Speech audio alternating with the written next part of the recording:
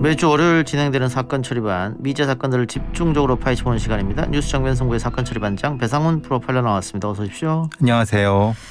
예, 어, 최근에 많은 분들이 궁금해하실 사건 역시 구미 3세 여아 사건인데 저희가 2주 전에 이 시간에 관련 이야기를 나눴었는데 여전히 수사는 진행 중입니다.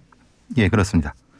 근데 안타깝게도 smoking gun을 확보하기 실패한 것 같습니다. 어... 지금 이제 국과수로부터 당시에 산부인과에서 어, 찍은 사진이 한 10장 정도를 이제 발견해서 그것을 국가수한테 유사 여부. 그러니까 예. 거기에 이제 어, 그러니까 어, 경찰이 판단하는 건 바꿔치기 전 사진과 후 사진이 그 속에 있다고 하면은 같은 저기 그 사진 안에 아니면 사진들 안에 그럼 이게 결정적인 스모킹이 될 수 있는데 문제는 판독 불가. 국과수에서는 이렇게 판단했다고 합니다. 근데 smoking gun은 과학적 증거 아닙니까? 그러니까 그 이미 과학적 증거는 다 나왔는데 DNA 결과 또 혈액형 다 나왔음에도 불구하고 문제는 인정을 하지 않는다는 거잖아요. 원래 이 정도 증거가 나오면 인정을 하고 사실을 밝혀야 되는데 지금까지도 그 사망한 아이의 그 모친으로 추, 추정되죠. 석 씨가 나는 임신한 적도 출산한 적도 없다라고 하고 있으니까. 예. 그러니까 이거는 꼭 오히려 거꾸로 유전자 검사가 틀릴 수 있는 가능성에 대한 얘기를 하고 있습니다.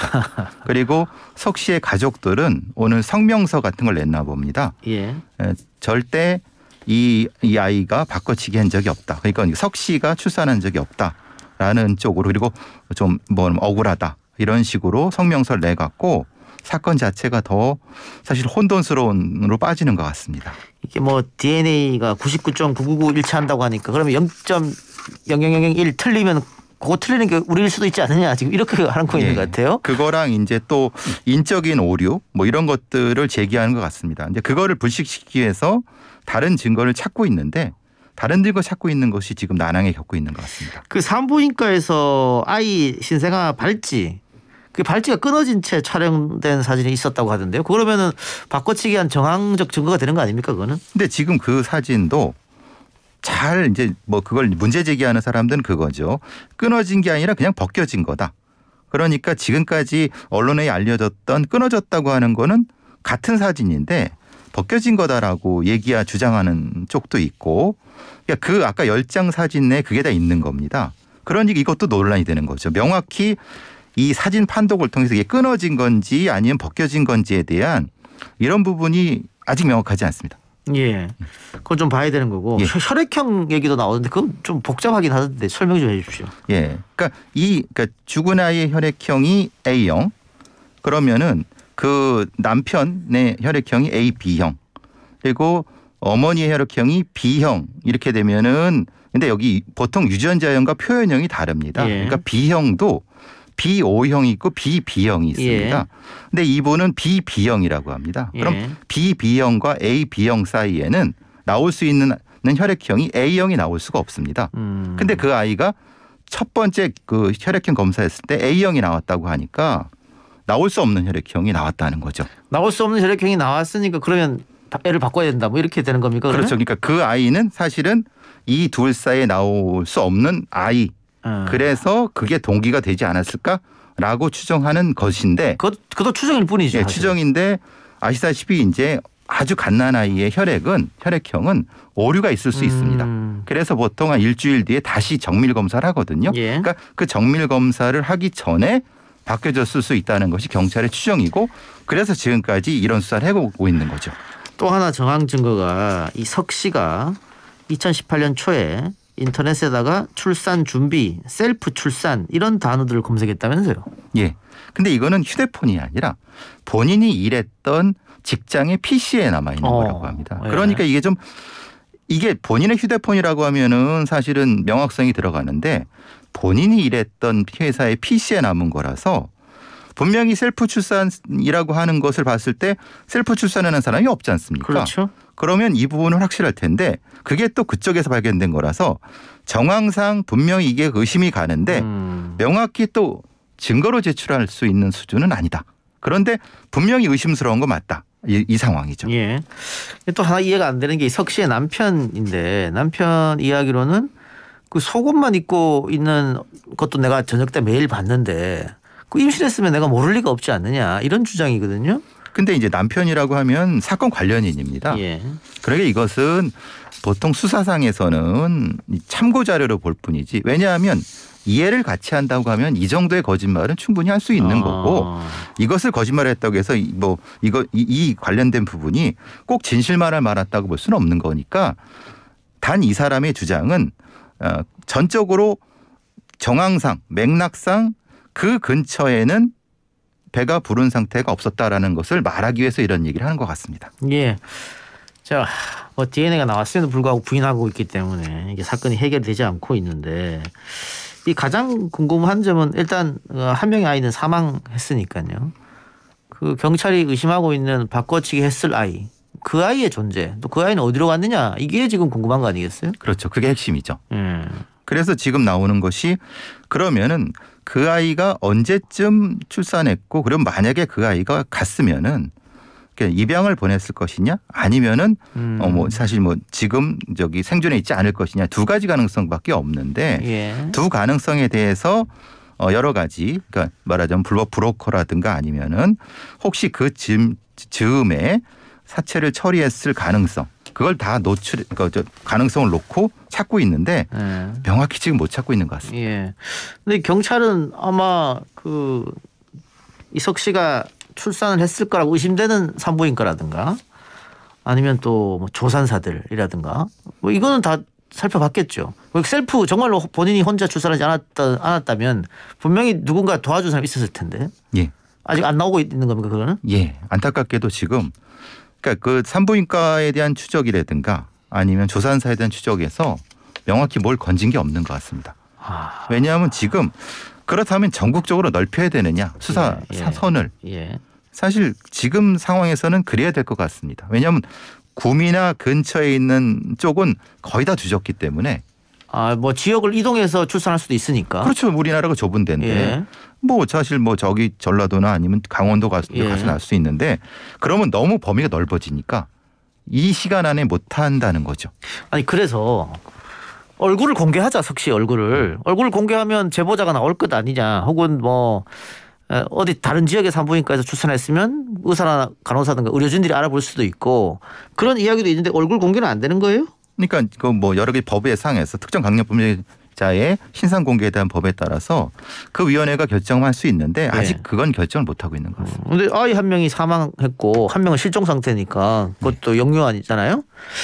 이 얼굴 공개 충분히 가능할 것 같기도 한데 이거 지금 그럼 회의조차 안 열리고 있는 겁니까? 그러니까 그, 그 부분에 있어서 사실 주저하고 있는 것 같습니다. 다른 가능성을 먼저 보고 근데 사실 좀 지금은 좀 늦었지만은 음, 정안 나오면 그렇게라도 해야 되겠죠. 그러니까 아이의 지금 예, 예. 실종된 아이 행방을 빨리 찾는 게 급선무니까. 그렇죠. 예. 알겠습니다. 조금 더 경찰 수사를 지켜보기로 하고요. 오늘 미제 사건 이야기는 뭐 너무 유명한 사건입니다. 이 대구 개구리, 개구리 소년 실종 사건.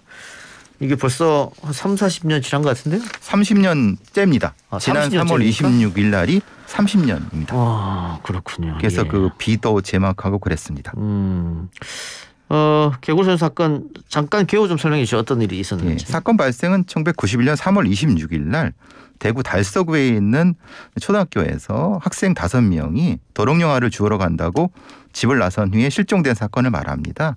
그냥 감쪽같이 사라졌는데 당시에는 경찰과 군을 대대로 투입해서 현장 주변을 뒤졌는데 사실 뚜렷한 성과 없이 미제 사건으로 묻히다가 사건 발생 11년 6개월 만인 2002년 9월 26일 날 그 성산고등학교 신축 공사장 뒤쪽에 와룡산 중턱에서 유골이 발견돼 갖고 사건이 재개돼 된 사건입니다. 예. 이게 뭐 한두 명 학생이 아니고 다섯 명의 학생이 한꺼번에 사라졌다. 뭐이 당, 당연히 이해가 안 되는 부분인데 공소시효는 만료됐죠 이 사건은 옛날 사건이어서. 예, 1991년이고 공소시효가 살인 사건의 공소시효는 태안이법을 기준으로 합니다. 예. 태안이법이 1999년을 기준으로 해서 음, 그 이전 발생한 것은 이전 공소시효, 그 이후 발생한 것은 공소시효 폐지 이렇게 음. 나옵니다. 그래서 지금 뭐 범인을 잡아서 처벌을 못한다 하더라도 유족 입장에서는 진실만이라도 알고 싶을 텐데요. 예, 그렇죠. 예, 그것 때문에 뭐 재수사 이야기도 나오는 거겠죠. 특별법 얘기도 나오는 것이 그것 때문에 그렇습니다. 예. 근데 결국은 경찰이 수색했던 그 산에서 사체가 나온 거 아니에요? 예, 그렇습니다. 그러면은 뭐 초기 초동 수사가 실패했다 이런 지적도 있을 것 같네요. 근데 경찰은 인정하기 싫어하죠. 음. 왜냐하면 35만 명의 연, 연원이 저기 동원됐다고 하는데 보통 경찰의 수색을 아는 저 같은 사람들 입장에서는 어, 이미 이전에 한 번 수색했 다고 확정된 곳을 다시 하지 않습니다. 예. 근데 앞에서 그것이 부실했다고 하는 명확한 증거가 없는 한 또 하지 않는 그래서 아마도 초기에 수색에 실패했다는 건 맞는 것 같습니다. 어, 초기에 실패했다.